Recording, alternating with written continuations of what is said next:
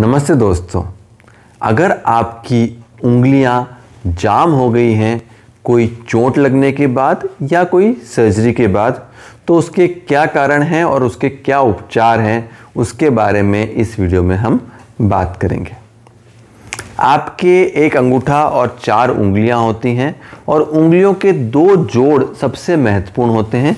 पहला, जिसको मेटाकार्पोफेलेंजल जॉइंट बोलते हैं, जो आपके हाथ और उंगली के बीच में होता है और दूसरा जॉइंट जो पीआईपी जॉइंट बोलते हैं प्रॉक्सिमल इंटरफेरेंजल जॉइंट जो उंगली के बीच का जोड़ होता है।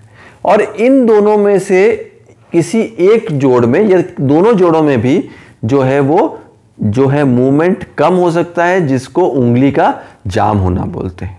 कई बार ये उंगली में जाम होने की तकलीफ़ एक से ज़्यादा उंगलियों में भी हो सकती है और अलग अलग उंगलियों में अलग अलग अनुपात में हो सकती है। जैसा कि ऐसा हो सकता है कि आपकी जो तर्जनी उंगली है, उसमें करीबन 30 डिग्री की स्टिफनेस हो और जो आपकी मध्यमा उंगली है, उसमें करीबन 50 डिग्री की स्टिफनेस हो। तो ये जो है आपके एक ही हाथ में अलग अलग उंगलियाँ अलग अलग तरीके से जाम हो सकती हैं। चोट लगने के बाद।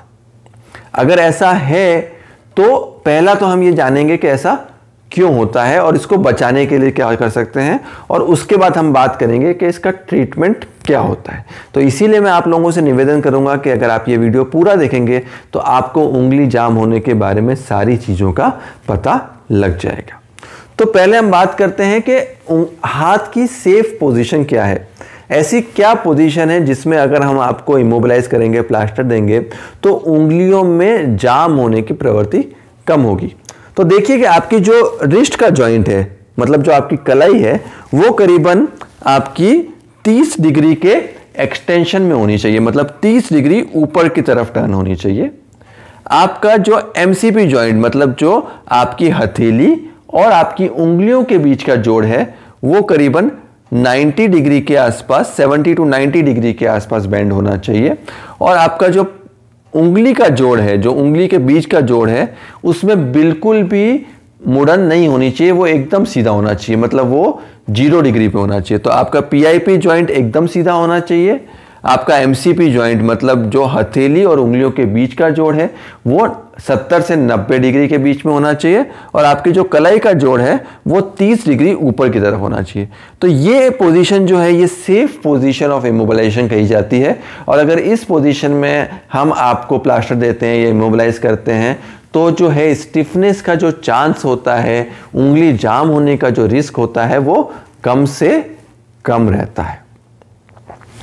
अब अगर आपकी उंगली जाम हो रही है तो क्यों हो रही है? ऐसा हो सकता है कि उंगली जाम होने की वजह चमड़ी और ऊपर का फेशिया हो। कई बार अंदर की जो नसें जा रही होती हैं, जिसको टेंडेंस बोलते हैं या मसल्स बोलते हैं, उनके कारण भी स्टिफनेस हो सकती है, उंगली जाम हो सकती है। कई बार जो जोड़ के अंदर का कैप्सूल है, वो टाइट हो जाता है, उसके कारण से स्टिफनेस हो सकती है। और चौथी बार, चौथा कारण ये होता है कि कई बार जो हड्डी और जो जोड़ होती है उसमें कोई इंट्रा आर्टिकुलर फ्रैक्चर हो जाता है, उसके कारण भी हो सकता है।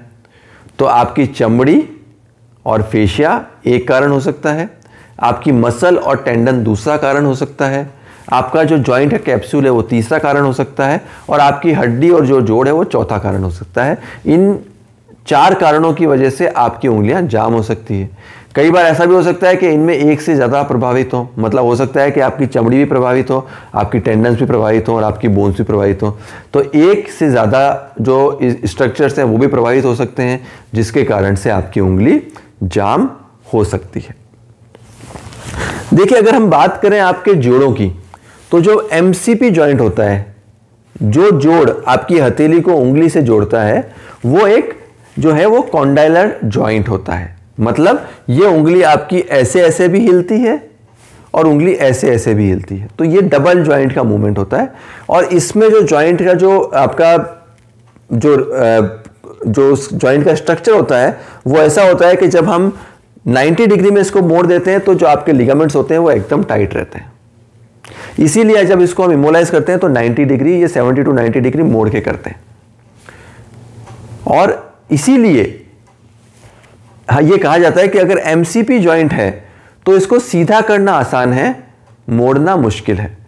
तो अगर आपका एम सी ज्वाइंट इस पोजिशन में जाम हो गया मतलब आपकी उंगली अगर सीधी की सीधी जाम हो गई और मुड़ नहीं रही है तो उसको मोड़ना मुश्किल है। अगर वो मुड़ी हुई है और उसको सीधा करना है तो सीधा करना आसान है। ये बहुत ही महत्वपूर्ण कंसेप्ट है, जो हमको ध्यान रखना चाहिए। दूसरी चीज़ जहाँ तक उंगली की बात है और उंगली के बीच का ज्वाइंट जिसको पीआईपी ज्वाइंट बोलते हैं, जो उंगली के मध्य का ज्वाइंट होता है, ये जो, अगर उंगली मुड़ी भी रह गई तो इसको सीधा करना बहुत कठिन है।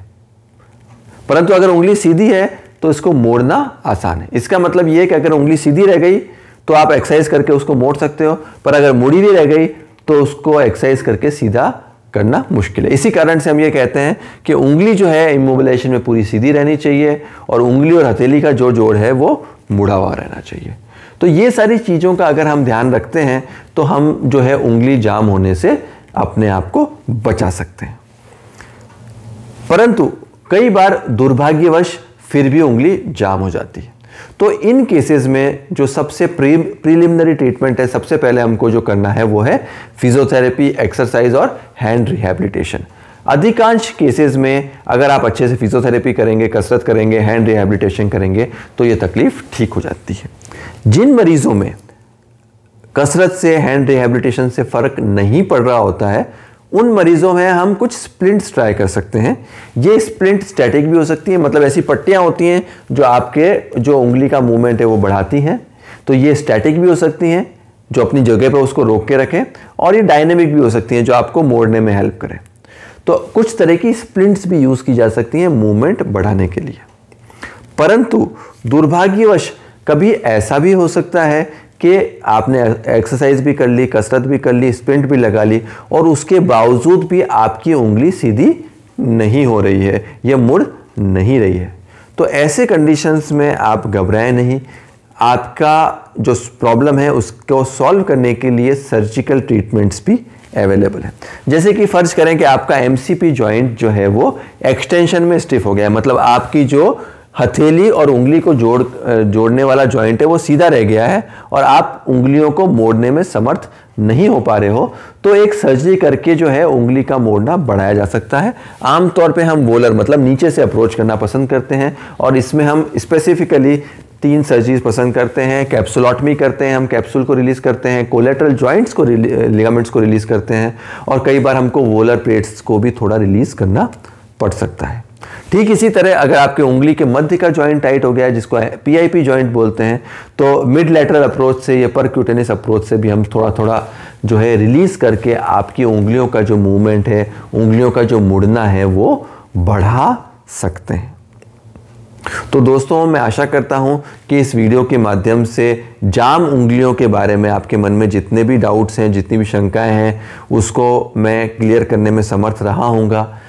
आपको कोई भी जानकारी और लेनी है, आपको कोई भी और डाउट्स हैं तो आप हमको कमेंट्स बॉक्स पे लिख के भेज सकते हैं। अगर आप ऑनलाइन कंसल्टेशन लेना चाहें तो नीचे दिए नंबर पे संपर्क कर सकते हैं। धन्यवाद।